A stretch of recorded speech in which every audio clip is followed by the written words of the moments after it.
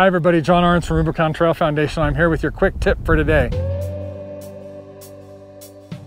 We all switched to synthetic winch line from metal winch line years ago because metal winch line is so heavy that it can hurt people when it breaks. So synthetic winch line. But we leave the metal hook on the end.